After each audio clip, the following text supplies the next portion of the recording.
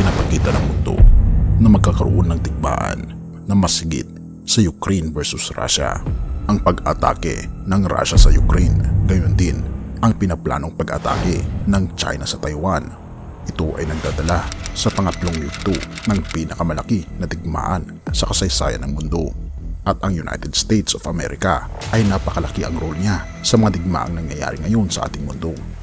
Nito-nito lamang ay nagkaroon ng pinakamalaking balikatan exercise sa Pilipinas na dinaluhan ng 17,600 members para sa pinakamalaki na joint military exercises ng Pilipinas, United States, gayon din ng Australia. At nito-nito lamang, nagkaroon din naman ng pinakamalaking joint exercises din sa parte ng Poland na kung saan dinaluhan ito ng 9,000 na mga US armies at mahigit 3,000 na Polish armies na suma total 12,000 mahigit na mga kasundaluhan ang naghahanda para sa nalalapit na digmaan. Dagdag pa dito ang plus 300,000 na alliance groups ng United States of America ay inihahanda para sa pinakamalakas na puwersa ng mga allies na babakod sa puwersa ng Soviet Union. At lalo pang pinapadami ngayon ang mga F-22 fighter jets ng United States of America na ito rin ang tumulong sa bansang Ukraine para talunin ang puwersa ni Vladimir Putin. Ngunit dahil sa leadership ni President Joe Biden ay nagsanib puwersa ang dalawa sa pinakamalaking nasyon sa Asia, ang China at ang Russia na sila ang pinakakinatatakutan ngayon ng United States of America na pwedeng tumapat sa sandatahang lakas ng mga allies.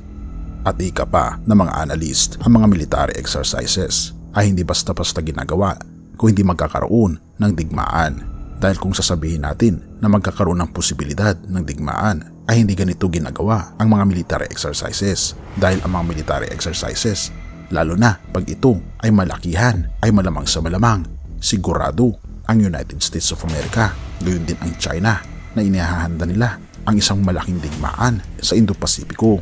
At ang nakakatakot nito mga kaibigan sabi pa ng mga analyst pag nadamay ang Pilipinas ay sigurado maraming mga mamayang mga Pilipino ang mamamatay dahil sa malalakas na nuclear weapons, missiles na inihahanda ng bansang China na magiging opensa sa Indo-Pasipiko.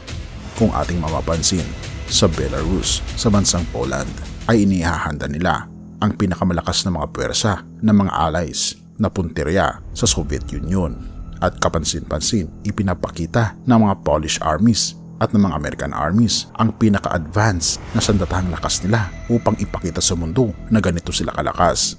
Ngunit hindi naman nagpapatinag ang China at ang Russia dahil nagkaroon din sila ng joint military exercises at ipinapakita ng China ang kanyang puwersa sa katubigan na sinasabi ng China sila raw ang may pinakamalaki at pinakamalakas na mga instrumentong pagdigma kung pag-uusapan ang puwersa sa patubigan.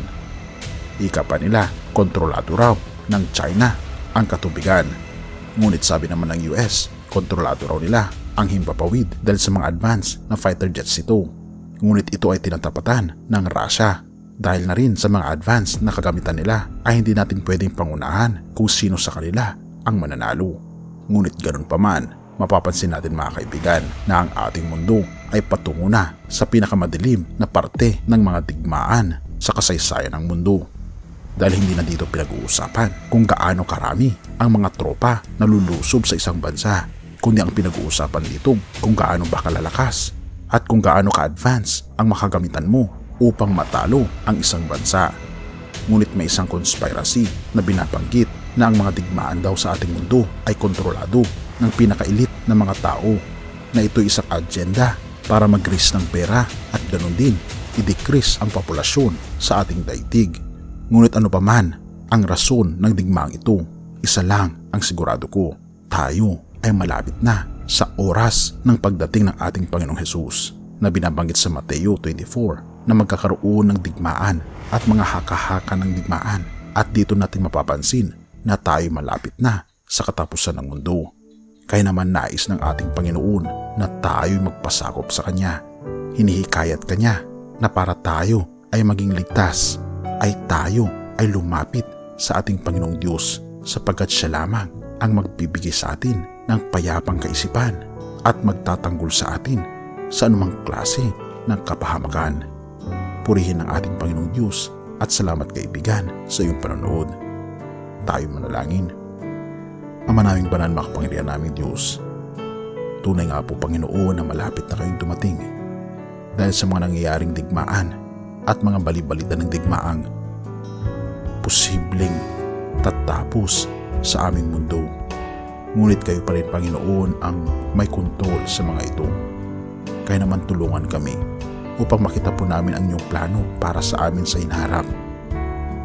Na sa inharap Panginoon ay nais niyo na makapiling kami sa langit na bayan. Ihanda Panginoon ang aming mga sarili. Tulungan kami na magkaroon ng pagsilay sa katotohanan at makita po namin ang daan patungo sa kaligtasan upang may handa po namin ang aming sarili sa inyo pong pangalawang pagparito. Purihin ka o aming Panginoong Diyos at patawarin po kami sa lahat ng aming pagkukulang pagkakasala sa pangalan ni Jesus. Amen.